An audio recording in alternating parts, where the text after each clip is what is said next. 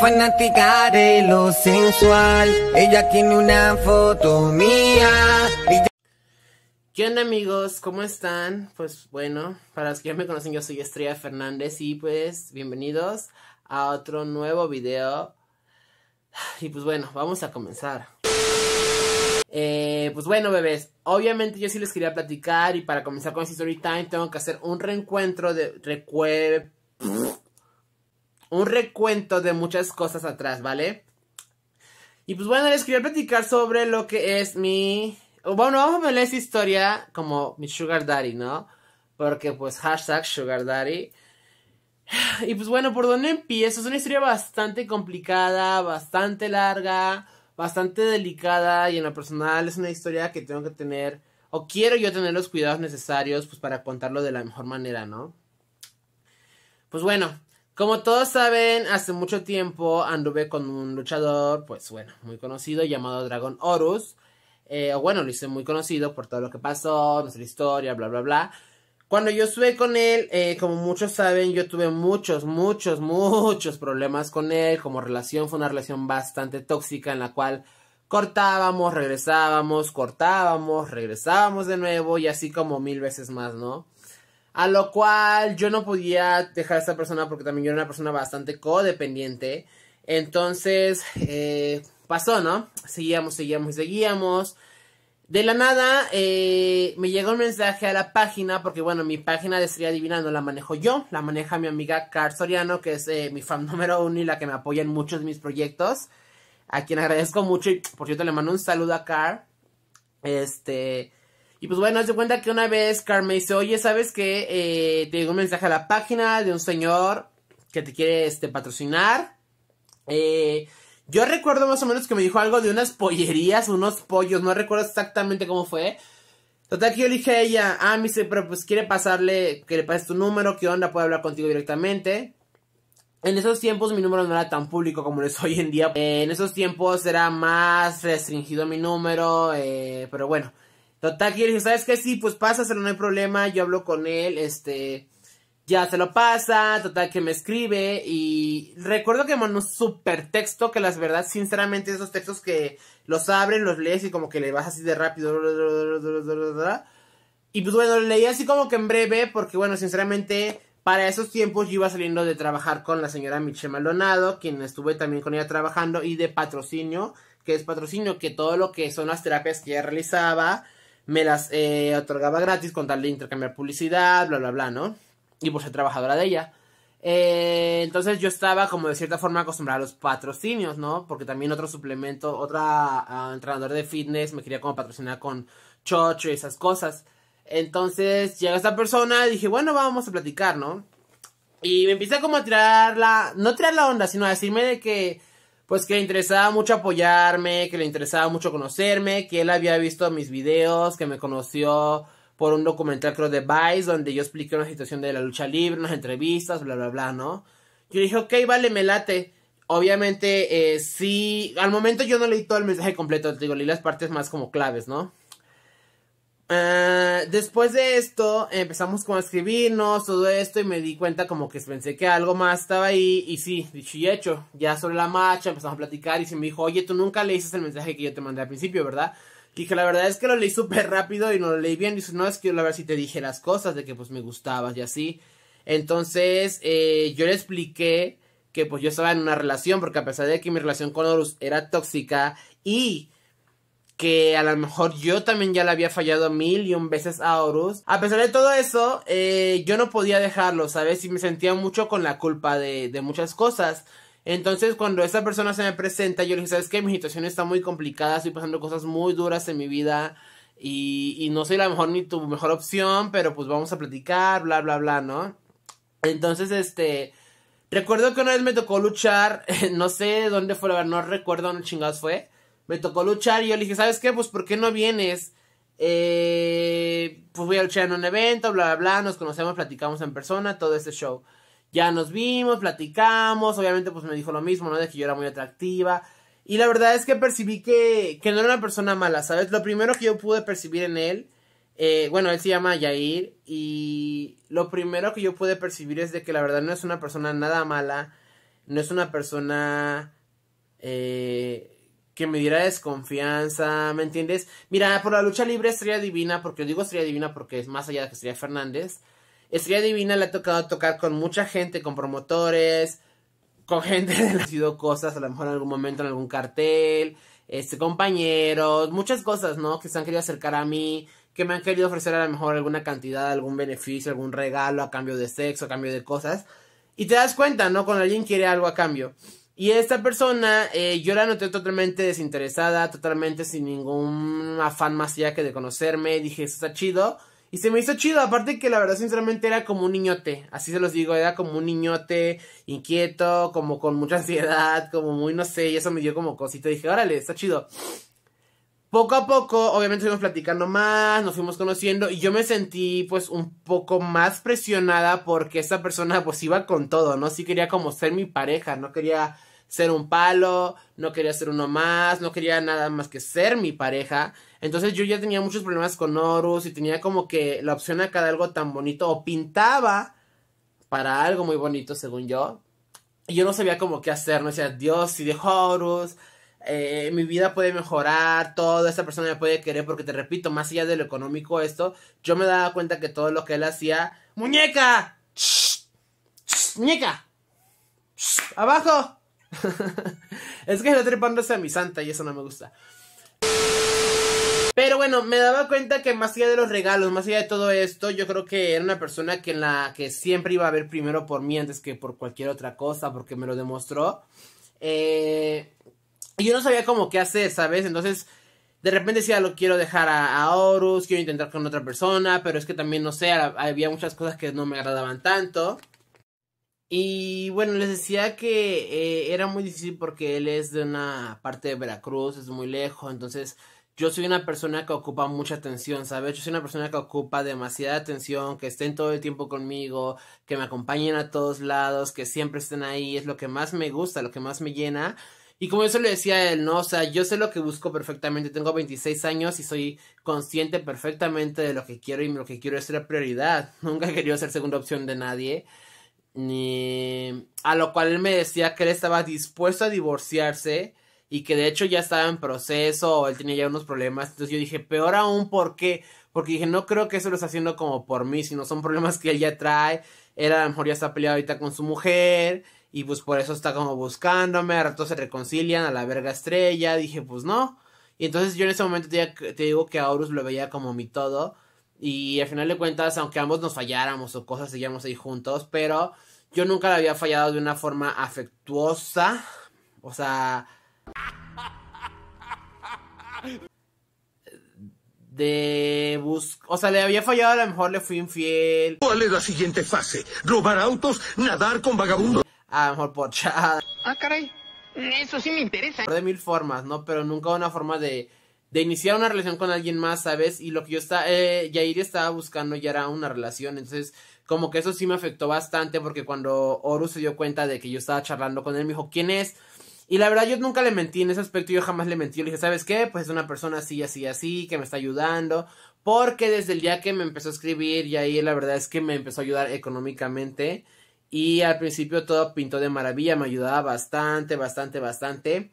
De hecho, eh, cuando fue todo esto eh, de que yo me quería operar, yo lo conocí, yo le dije, porque fue en diciembre y él me dijo, no, pues este, ¿qué quieres de, de Navidad? ¿No? Algo así me preguntó. Yo le dije, es que no me digas eso porque yo sí sé pedir y yo sí sé lo que quiero.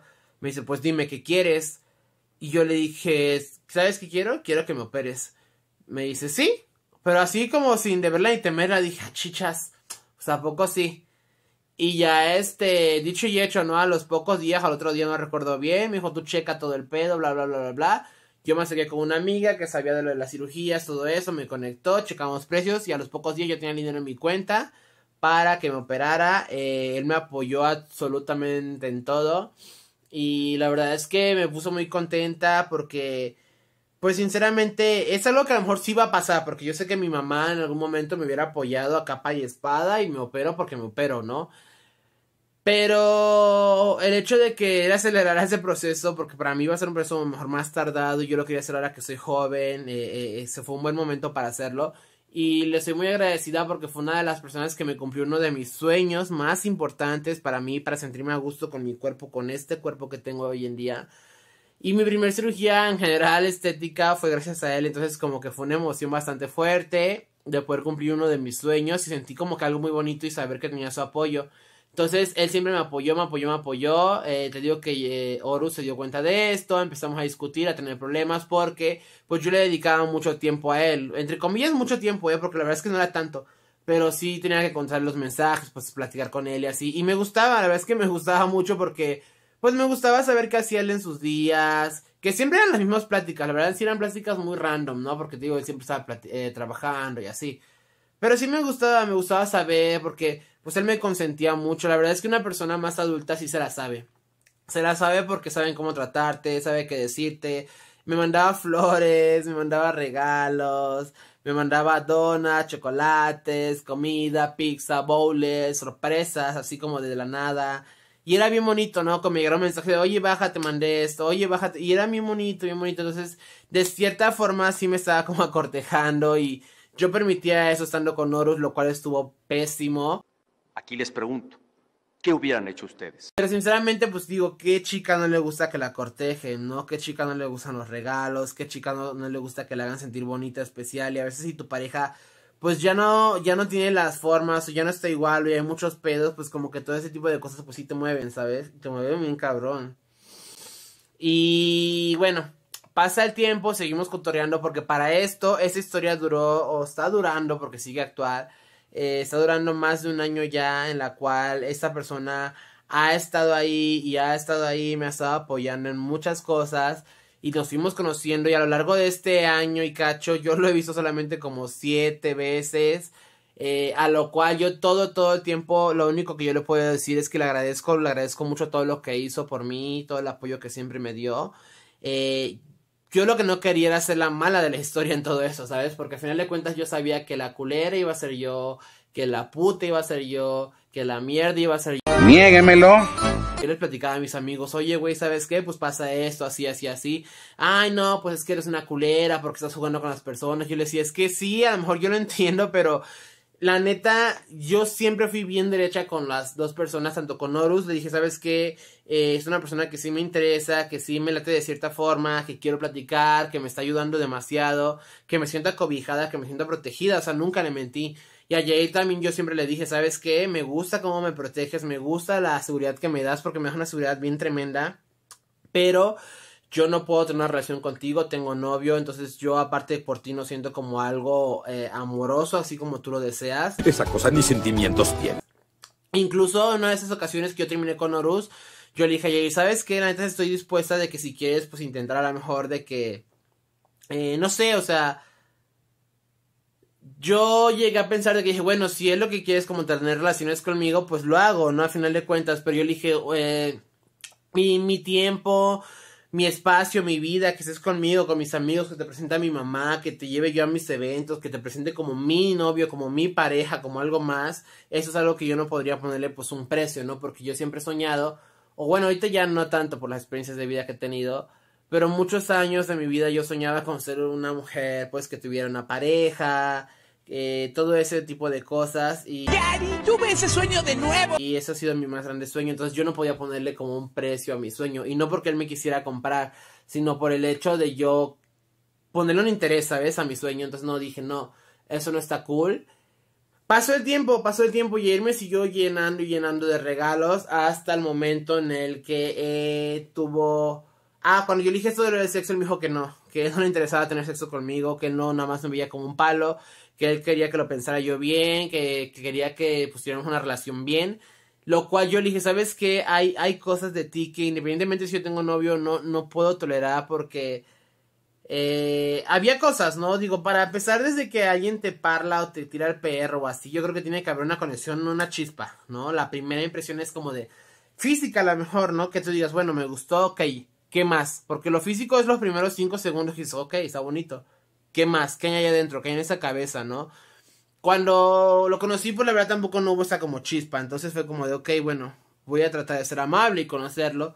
Cuando lo conocí me di cuenta que es una persona muy chida. Digo, no es malo, para nada malo. Al contrario, es una maravillosa persona. Pero es una persona que solamente sale a hablar. Sabe hablar y sabe hablar y sabe hablar y sabe hablar y no sabe escuchar. Entonces, a mí eso es algo que me puede mucho. Alguien que no sepa escuchar es algo que... O sea, cuello. Eh, alguien que sea muy, no sé... De que yo le decía, ¿qué crees que a mí me gusta color blanco? ¡Ay! Yo, yo tengo una playera blanca. Y así de, ah, ok. O a mí me gusta Acapulco. Ah, yo este, yo nací en Acapulco. Ah, órale. Este, ¿qué crees que a mí me gustan las enchiladas? Mi comida favorita son las enchiladas. ¿Me entiendes? Siempre era muy así. Entonces, había cosas como que yo decía. Obviamente los ejemplos son teóricos, ¿eh? Porque. Y esa era otra, que todo lo que yo le decía así, ejemplo, cosas los tomaba literal al pie de la letra. Entonces tenía que explicarle.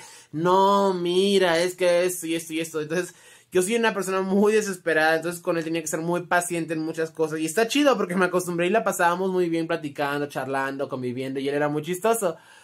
Pero si llega un punto en que ese tipo de cosas me podían mucho y decía, ¿sabes qué? No, y me, me decía como, oh, no, o sea, no puedo. Además de que ya ahí tenía un pequeño problemita, que él es una persona muy chingona, pero tiene un problema de ansiedad, que cuando yo lo conocí eh, todavía era un problema que le afectaba pues bastante creo yo, porque recuerdo que incluso una vez nos invitó a Acapulco, bueno, iba a luchar en Acapulco y él se ofreció a llevarme, yo iba a con AAA, pero él se ofreció a llevarme su auto y quedarnos como allá un día antes, algo así. Entonces nos fuimos un día antes. Recuerdo que creo que fue con ellos de, de Pagano. Fuimos unos compañeros ahí, echamos unas chelas. Él es una persona que por lo de su medicamento de ansiedad, pues no puede tomar, pues le valió madre, se echó unas chelas. Andaba, la verdad, un poco impertinente, se puso un poco pesado. Era de las primeras veces que yo lo trataba, entonces como que para una primera impresión fue como bastante y al momento fue como de, ok, no me di cuenta que ya estaba haciendo todo el oso, ya todo estaba medio gacho, entonces dije, ¿sabes qué? Creo que es hora de irnos. Nos fuimos a mi casa en Acapulco, donde se iba a quedar. Yo le dije a la neta que se quedara en otro cuarto porque no quería quedarme solo con él. Y no porque me fuera a hacer algo, ni mucho menos. Simplemente porque me sentía como incómoda, la verdad. Y aparte, antes de eso había vomitado. Fuimos a cenar después para que se le bajara. O sea, no sé. Y dije, pues Está padre a lo mejor sí andar cuidando a alguien, ¿no? Porque pues es en las buenas y en las malas, pero cuando ya tienes algo con ese alguien, ¿no? No como primera impresión. Y muchos pueden decir, ah, qué culero, ¿no? Pero no, o sea, yo en ese momento yo nunca pensé como no hacer una culera ni nada, pero pues sí me quedé como un poco agüitada, ¿no? Dije, bueno, pues ya. Después el otro día, eh, la pasamos un poco mejor, bla, bla, bla, ¿no? Eso sí, nunca lo puedo negar siempre se ha esforzado, siempre, siempre se ha esforzado, como no tienes una idea, por quererme complacer. Y eso es algo de lo que más me mamaba, de lo que más me gustaba. Porque eso me empoderaba mucho, porque eso me hacía sentir importante, porque eso me podía hacer sentir. Pues como que yo podía todo con cualquier chico, ¿sabes? Porque él me daba esa seguridad. Y a lo mejor está mal, pero la seguridad que él me daba al hacerme sentir tan poderosa yo lo transmitía con otras personas, ¿no? Y me sentía muy bien. Lamentablemente quien pagaba a lo mejor los platos rotos en este caso pues era él y eso no estaba chido, ¿no? Pasa el tiempo, te digo, seguimos tratándonos, bla, bla, bla, bla, bla. empezó a venir aquí a mi casa, aquí al distrito, eh, conoció a mi mamá, conoció a mis amistades. De hecho, cuando fue la pandemia y todo esto, eh, les digo que Muchos de mis compañeros la pasamos bastante, bastante, bastante mal por cuestiones de que todos nosotros dependemos total y absolutamente de la lucha libre y al, al estar en pandemia pues no hay funciones de lucha libre. Entonces tengo muchos amigos que sí la pasaron bastante mal. Yo le dije a él, oye, ¿sabes qué? La neta me siento bien agüitada porque pues yo ando chido y todo porque tú me ayudas, pero mis amigos neta están de la verga. Entonces, este... Es que onda, ¿no? ¿Qué, qué, qué forma hay de que las ayudemos? Él me dijo, no, ¿sabes qué? La neta, pues no te preocupes, hay que arreglar el zumbaro. Y dije, pues qué chingón, ¿no? Pero dije, oye, Sugar, porque yo le decía ya Sugar, ¿no? Porque siempre eché de desmadre de que, ay, tú vas a ser mi Sugar y así porque era una persona mayor. Yo nunca había salido con alguien tan mayor. Bueno, una vez sí, pero no fue mucho. Entonces, este. Eh, ya. Yo le dije, es que si les das un dinero la neta, Sugar se va a acabar. Y al final este, la pandemia va a durar más o algo. Mejor no sé. Si tú puedes porque él conmigo se pintó como un hombre maravilloso, como un hombre que todo lo puede, como el casi casi el rey del mundo. Claro, el rico piensa que con una monedita puede comprar al pobre. Y eso también fueron cosas que a mí me, me gustaban porque dije, pues a huevo, qué chingón que sea chingón. Pero ya llegaba al punto de alardear mucho, ¿sabes? Y esto ya pues era un poco incómodo, sinceramente, hasta como de, ay, pues ya, güey, ya, ¿no? Entonces eso no estaba chido. Pero bueno, entonces como yo sabía que era una persona que sí, según él, pues sí podía, eh, pues yo le dije, mejor sabes qué, si puedes, dale chamba, o dale chamba a mis amigos, y me da chamba a mí, pues si hacemos algo, y no sé, y nos conocemos más, platicamos más, estamos más cerca. Para esto yo ya de repente, te digo, terminaba, regresaba con Horus, terminaba, regresaba. Ese tema sí seguía, seguía turbio y seguía de la verga. Este... Él me dijo, no, pues que sí. Entonces eh, surgió una idea de un grupo llamado Primera... Ay, no me acuerdo cómo... No me acuerdo cómo se llamaba primero, pero bueno, hicimos como un call center en el cual ofrecíamos servicios a lo que él se dedicaba sobre unas cuestiones de trabajo, ofreciendo un servicio y yendo a los municipios a ofrecer el servicio. Lo hacíamos vía telefónica, tuvo mejor resultado eh, ir presencialmente. Mis amigos, cuatro de mis mejores amigos, que son los que yo siempre, eh, bueno, son tres de hecho, he procurado pues eh, que estén bien porque son personas que quiero mucho, que me han demostrado que son grandes personas y, les tenía mucho aprecio. Entonces yo dije, bueno, los metí ellos tres, los contemplé para que entre los cuatro hiciéramos ese equipo. Creo que las cosas marcharon bien, bla, bla, bla. Empezamos a vender eh, los servicios que hacíamos y hubo municipios que sí nos contrataron, entonces estoy marchando bien. Para esto, bueno, yo seguía en mi relación súper tóxica, llegaron los golpes, pasaron muchas cosas. Eh, a Yair le pasa que, bueno, él estaba como clavándose cada vez más y más. Yo como que sí sentía algo porque, les voy a ser bien sincera, yo sentía mucho, eh, me gustaba bien cabrón la protección que él me hacía sentir. Yo soy una persona que siempre que tengo problemas recurro a mi familia, a mi mamá, a mi papá. Mi papá más que nada, mi abuelito para mí, puta, es mi pilar. Él es el que me saca de cualquier problema sin decirme nada, solamente preguntándome si estoy bien, es lo único que le interesa. Entonces yo no había sentido ese cariño y esa protección nunca jamás hasta el día que lo conocí a él, porque la verdad es que Jair sí, sí fue una persona que siempre se quitó hasta el taco de la boca con tal de que yo estuviera bien, sin siquiera tocarme. Si las veces que nos llegamos a ver, él me tocaba la pierna, bastaba con hacer como esto para que él me dijera, oye, no, discúlpame si te toqué, este, estás bien, discúlpame si me pasé, o sea, él siempre sabía lo que me gustaba, él siempre sabía lo que me molestaba, aprendió a conocerme muy rápido, pero su error fue desde que al principio, desde el principio que yo lo conocía, la segunda vez que yo lo vi, él me dijo, es que yo te quiero. Eso no me lo esperaba. Y yo dije, ¿cómo que me quieres y no me conoces? No, si es que no sé por qué, pero yo te lo juro que te quiero. Yo le... Y desde ahí dije, ese fue algo que aprendí de tantas relaciones tóxicas que llevo. Es que dije, ese es un megafoco rojo. Porque dije, no puede querer a alguien que no conoce. Y eso yo me di cuenta que no era amor, era una obsesión. ¡Corre, perra, corre! Entonces lo fue un megafoco rojo que él encendió que yo dije, aquí hay peligro. ¿Por qué? Porque yo se lo expliqué, yo le dije, tú no me conoces, tú estás viendo lo bonito, la imagen, lo que piensas que está bonito, pero yo soy un demonio, yo soy un monstruo, yo soy, pues una cagada, la neta. Y en esta ambiente de la lucha libre hay gente peores que yo, pero pues yo también lo soy. Entonces, este... A ver, a ver, ¿qué pasó? Eh, eso fue algo que a mí también... Te digo que... Te digo que esa historia fue muchas cosas muy bonitas entre regalos, promesas, muchas promesas porque muchas ni siquiera se cumplieron muchos regalos al principio y muchos intereses al principio. Pero también a la marcha de esto hubo muchas cosas que yo dije son mega, mega focos rojos. Porque él me decía, por ejemplo, te voy a regalar esto. O, qué quieres este de ropa, por ejemplo. Yo decía, no, pues este, no sé, porque pues no sé, yo quiero esto, o no sé, no tengo idea, ¿no? Y él me decía, no, mira, te compré esto, o te voy a mandar esto, o ya te pedí esto, te llega tal día. Y yo así de, ¿cuál? No, pues que esto, ya mandar las capturas. Yo decía, es que eso no me gusta, es que eso está feo, es que eso no sé qué. Porque la verdad eran cosas que no, o sea, como que no era mi estilo, ¿saben? Ustedes saben que soy de top, gorra, chores, este, converse, eh, más barrio, más street, ¿sabes? Más top, más, no sé, la gozadera. Y él me quería hacer como muy formal y así, como yo decía, no soy yo, no soy yo, no lo voy a poner, no me gusta. Y me daba cuenta que era una persona muy terca de, no, es que mire, se te ve mejor, y no es que mira, y es que mira, y es que mira, y así de... Y decía, es que no me gusta. No, es que pregúntale a tal, a ver qué te dice. No, y pregúntale. Oh, y entonces desde ahí me di cuenta que era una persona que a huevo quería que se hiciera lo que él dijera porque él pues mandaba. Entonces dije, no, eso no me gusta porque si lo permito desde ahorita eso, más adelante pues quién sabe qué va a hacer. Entonces dije, no. Entonces fueron pequeños focos rojos que yo fui notando que a pesar de que él hacía muchas cosas chidas, pues yo no podía sentir eso, ¿no? Al 100 por él. Eh, obviamente con mi relación con... Buen intento, paposo.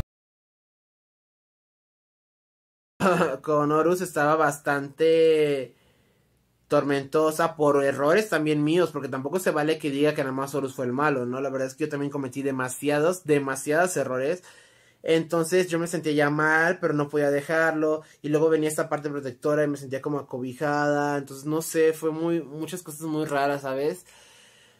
Y el hecho de que él viniera y que yo decía, ¿por qué? ¿Por qué si no siquiera me ha tocado un solo pelo? ¿Por qué si ni siquiera soy la mejor con él? ¿Por qué, me cuida? ¿Por qué sigue ahí? ¿No? ¿Por qué, ¿Por qué tantas cosas? Y yo no entendía, pero a la vez yo amaba eso porque sabía que pues que pasara lo que pasara, que tomara la decisión que pasara, que tropezara, que fallara mil veces, pues iba a tener la protección de él ahí, ¿no? Entonces era algo que a mí me gustaba muchísimo. Eh, obviamente, pues él es hombre, no tiene su orgullo a final de cuentas y a lo mejor había muchas cosas que no le parecían, pero a mí directamente nunca tuvo valor de decírmelo.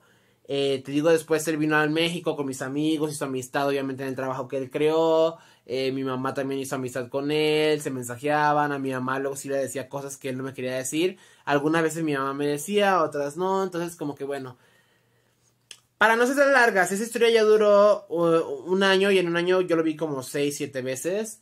Eh, pasa que después, ah, en esa temporada, eh, los primeros meses, digo, eran muchos regalos, muchas cosas y viajecitos, eh, pues para verlo, ayudar a mis amigos, todo esto. Después de esto, no sé qué pasó, más o menos por septiembre, octubre. No desde septiembre, porque me acordó que él era una persona, y eso, miren, es algo que no quiero que digan, ay, pinche estoy interesado, así, porque la verdad es que suena bien feo, pero Aquí les pregunto, ¿qué hubieran hecho ustedes? no es así, pero miren.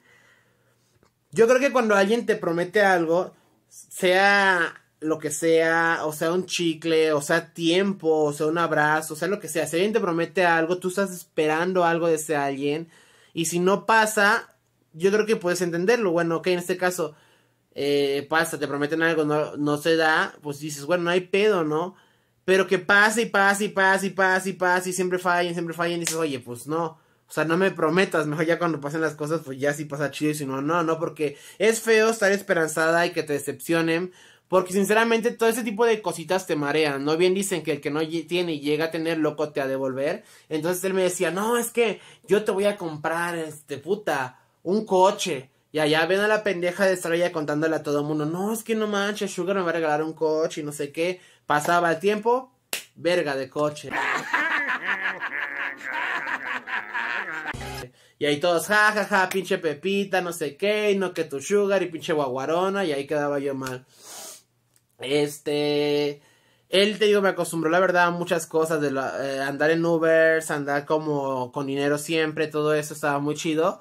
Y cuando él se atrasaba de que me decía, sabes que ahorita no puedo, te voy a mandar después, pues yo no, ya estaba acostumbrada, ¿no? Entonces yo decía, puta madre, ¿ahora qué hago? Porque me gustaba el ritmo de vida que ya llevaba. Entonces yo tenía que andar pidiendo luego, pedía, pedía, pedía y todos de, no mames, no que según hay el dinero, no sé qué. Y yo pues decía, puta madre, ando quedando mal porque se atrasaba más, ya no voy a yo pagar. Esto, luego sí pagaba, pero pagaba todo lo que debía y me volvía a caer en cero y tenía que volver a pedir y así era una cadenita que me descontroló muchísimo. Entonces fueron muchas cosas, ¿no? Que es, a lo que voy. No es el punto de la cantidad ni, ni lo que te den, sino el hecho de que te fallen. Entonces alguien que te falla demasiadas veces decepciona y cuando alguien te decepciona es muy difícil que tú puedas creer en esa persona, que tú puedas sentir algo por una persona porque pues yo creo que es lo más feo, ¿no? Que alguien te decepcione. Y más si es una persona que te digo, se dio a conocer por según ser muy guaguarón de que todo lo puede. Y a la mera hora, pues no, dices, pues no manches, ¿no? ¿Qué onda? Creo que voy a ir a burlarme un poco. Entonces, ¿para qué tanto decir cosas? Mejor, pues no. Y pues bueno, así fue. De hecho, él me decía, no, es que te voy a comprar un coche, y no, es que te voy a poner tu local, porque como ustedes lo saben, yo estaba con lo de los masajes aquí en casa. Estaba muy orgullosa, porque antes de conocerlo él, yo estaba muy orgullosa por todos mis logros, por lo mucho que me había esforzado en mis cursos. De hecho, la verdad, también cuando él llegó me ayudó en más cursos y a comprar más eh, productos para los masajes, la clínica, la consultorio, porque lo trabajaba en casa y era un cuarto pequeño que adapté. Y él me decía, no, mira, vamos a juntarlo de no sé cuánto para una renta, para que tengas un local. Y la verdad, yo no manches, tenía un sueño enorme de decir, oh, wow, o sea, voy a ponerte mi local, lo que tanto he soñado. Y yo veía que pasaba el tiempo, el tiempo, y meses y meses. Y yo decía, no manches, es que qué onda. Y yo le decía a él, porque era un sueño, ¿sabes lo feo que es tener un sueño y que no se cumpla? Es horrible, es frustrante, ¿sabes lo que es sentirte frustrada de que las cosas ya no van a pasar? Entonces, Pobrecito, déjame tocar una canción triste para ti en el violín más pequeño del mundo. no sé, o sea, fueron muchas cosas, entró la cuarentena del COVID, te digo. Dije, ¿sabes qué? No puedo trabajar aquí en casa, no son las condiciones adecuadas como para trabajar algo con tanta higiene, con tantas cosas o con tantas medidas que se necesitan. Yo tenía la esperanza que en el local todo mejorara, todo creciera, no se pudo, nos atrasamos. Mi mamá, los que me siguen saben que me había regalado un Beatle, eh, el cual, bueno, sí tenía bastante fallas. Eh, Sugar me ayudó mucho, ese Beatle se le invirtió un chingo de varo, pinche mecánico ratero, hijo de su puta madre. Nos sacó un puta madre de varo. Total que ese Beatle de como 50 varos que lo compramos, 50 y tantos, salió como en 100 varos casi se le invirtieron. Este... ¿Qué más? Mm, ah, cuando le fue mal a Jair, el coche se tenía que vender, el cual este Jair lo vendió con sus amigos porque tenía más facilidad. Este a lo cual a él le fue mal y para poder seguir trabajando con Liste, con las giras que hacíamos, la verdad, él me enseñó todo el papeleo y todo. Y sí, sinceramente, hacer una gira de trabajo, a ver, de México a Veracruz, llevando eh, dos o tres personas por viaje, una semana, tres días, pagar hoteles, tres comidas al día diarias, este, gasolinas, casetas, todo, todo, todo. La verdad, sí era una chinga y eran unos gastos bien tremendos en los cuales él se apretaba mucho y él decía es que todo va a estar bien, yo confío mucho en esto y no sé qué. A lo cual fue al principio invertir, invertir, invertir, invertir y un barotototote para poder tener un resultado supuestamente después. Fuimos timados, ¡Timados! embaucados. ¡Fuimos embarajiñados! Esto ni siquiera existe, pero con fuerza. Eh, a lo cual todo ese tiempo nada fue invertir, invertir, invertir y nunca vimos como un resultado. Entonces parte de mi mamá también, mi mamá es muy lista sinceramente y ella pues siempre he tenido miedo de eso, ¿no? De que alguien nos haga algún daño, sean los, los chicos que se me acercan, todo eso. Y yo le decía, oye, es que yo no confío en esa empresa de Yair, es que yo no confío en esto, ¿por qué no está registrado de esto? ¿Por qué no tiene este papel? ¿Por qué no esto? Cosas que yo ignoraba, ¿no? Porque a mí nada más me hacía como el coco wash, ya todo está bonito, todo es color de rosa. Y, y yo no entendía tantas cosas. Y ella me decía, es que si tú firmas algo, sabes que te puedes ir a la cárcel. Es que si tú firmas algo, sabes que te pueden embarcar. porque su nombre no aparece en esto? O sea, muchas cosas que decía, chale, pues ¿por qué no me... O sea, a lo mejor sí me lo dijo él, pero yo no tenía la capacidad de entenderlo, ¿no? O sea, que me lo dijo mi madre, o no sé, no sé. ¡Oh, buen pedardito! ¡Él es el impostor! Pero yo me sentía como de, chale, pues en qué me metí, ¿no? Y lo que menos quería es que me llevaran a mi madre entre las patas. Ya después me dice mi mamá, es que mira, según vendimos el coche, y pues mira, a lo mejor nada más, pues como nunca anduviste con él, este, ya te está quitando las cosas, está cobrando de alguna manera. Maravillosa jugada. Entonces yo como que dije, chale, si sí es cierto. Entonces como que me empecé a quedar con esas espinitas. Pero dije, no, yo confío en él. Porque él lo único que siempre me pedía era eso, ¿no? Tú confía en mí y tú confía en mí. Porque sí me decía de que él se sentía muy solo, que nadie confiaba en él y así. Yo decía, no manches, ¿cómo puede ser? Porque la neta es una gran persona. Entonces yo sí confiaba en él. Yo decía, no, jefa, no hay pedo, ¿sabes qué? Este, aguanta vara. Y ayer le dijo a mi jefa, oye, Hani, voy a usar el dinero de lo del coche, luego te lo pago, no sé qué. Sí, sin pedos. Ya después otra vez teníamos que otra gira y le faltaba dinero. Oye, Hani, porque mi mamá pues también es, eh, es militar, tenía su ahorradito, sus préstamos. No, pues que sí, yo te presto. Y mi mamá le prestaba para algunas cosas. No sé cuánto, ¿no? O también cuando yo quería cosas, que dice, oye, Sugar, quiero esto. Y no, no tengo, pero dile a tu mamá que te preste y yo luego se lo pago. Pues así de poquito en poquito, en poquito, en poquito. Total, yo, de por sí ya tenía yo unas deudas con mi mamá por unas máquinas que le pedí prestado para cuando los masajes y todo eso.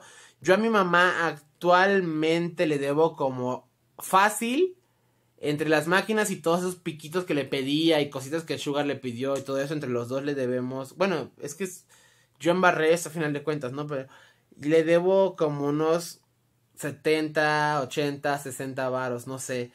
Y la verdad es algo de lo cual sí me duele mucho porque a raíz de todo esto yo frené todos los planes de mi mamá. Ella tenía planes de operarse también, quería sentirse más bonita como mujer no lo hizo por mis malas decisiones. Este, ella quería tener su camioneta este año, no lo hizo por mis malas decisiones. No sé, sabes, llevarme ella entre las patas fue algo que sí me puede mucho, por eso yo bueno, no me quiero adelantar la historia, ¿no? Entonces, bueno, Este, entonces mi mamá me decía, es que piénsalo, si qué tal si ya nada más no está haciendo esto como para que pues quedara a mano por todo lo que ya te dio, porque la verdad sí me dio muchas cosas, Jair, muchas cosas al principio. Ya después digo que cuando me decía es que a veces no podía mandarme, a veces sí, a veces me mandaba poquito, bla, bla. Pero siempre me decía, y eso también siempre era algo que no me gustaba, porque tú dicen, ay, wow, tienes sugar, ay, wow, esto. No, pero no saben, porque pues también la verdad es que siempre me contaba cada, cada cosa que me daba. Era, no, pues ya te di tanto. Ay, gastas mucho. Ay, es que no sé qué. Y dije, pues entonces, ¿para qué me dices que me vas a dar si me vas a estar reprochando, no? Claro. El rico piensa que con una monedita puede comprar al pobre. Que digo, bueno, se entiende, pero dije, pues no sé, yo así funciono. Y pues bueno, entonces pasa el tiempo, este, fueron muchas cosas, eh, las cosas no empezaron a salir tan bien con el proyecto de la empresa. Sí había contratos vendidos y íbamos a supuestamente recibir un buen dinero después, pero pasaba mucho tiempo para poder recibir esto. Te hablo de que todo esto pasó como a lo mejor en febrero, marzo, abril, mayo, no, mentira, mayo, junio, junio, agosto. Fue donde estuvo chido. Eh, septiembre, octubre, noviembre, diciembre en adelante, prau fueron las malas rachas horribles, que ya no hubo dinero, ya no hubo nada. Eh, en este aspecto yo con Jair seguía teniendo muy buena amistad, muy buena relación, nunca había pasado nada, de repente se enojaba, hablábamos, arreglaba, cada vez que él necesitaba tocar el tema, yo le tocaba el tema y le dejaba muy en claro que yo no iba a dejar a Horus por él, que si yo le iba a dejar iba a ser porque yo lo quisiera dejar, pero dejarlo por alguien más no. Eh, sobre esto llega el punto en el que yo ya termino con Horus, eh, definitivamente. Hiciste lo correcto, Bob. Y eh, para esto con Jair ya también ya tenía pues bastantes decepciones, te digo, porque me prometía muchas cosas que no cumplía o no se podían cumplir en el momento y pues era como muy frustrante. De hecho, lo de los masajes yo lo paré totalmente. Yo ya estaba harta también porque fue un gran sacrificio que yo hice de pues dormir en la sala de mi casa para poder adaptar como tapar esa parte y entrar a la gente directa al cuarto que yo adapté para poder atender. Yo decía, güey, yo ya quiero tener mi privacidad, mi cuarto, poder cerrar mi puerta, poder andar en calzones si yo quiero y no podía por tener que dormir en la sala. Entonces llegó un mundo en que me harté, quité toda la chingada, guardé todo en cajas, dije a la verga. Yo no voy a estar esperanzada de nadie, cuando yo pueda lo voy a hacer. Un sueño más que se frustra, dije puta madre. Y a mí que se me cebe un plan o que algo no me salga es algo que me pone, pero si hasta la puta madre. Porque yo siempre me he considerado muy chingona, ¿sabes? Y algo que también me molestó mucho de todo este proceso de conocerlo.